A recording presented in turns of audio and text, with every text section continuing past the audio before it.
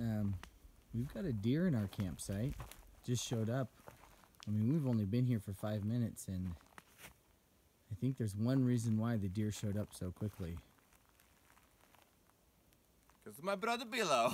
My brother Milo with the tortillas. This is the reason why, right Very here. funny. Yes. Tortilla Kenny, But I don't have any tortillas. I Day have like 121, 122, sorry. 122. Lassen 122. National Park. Day three. For, day, day three for me. Day 3, day 100. Day 100. 100. It's been a good day. It's been a good day for 100. That's funny. Did a waterfall. We've got a beautiful campsite. And if we keep walking his pace, then he will also reach his 100 day. That's right. yeah. Ah, good stuff right here, right off the Pacific Crest Trail. School is going Day number 122. Where have you been the last three months.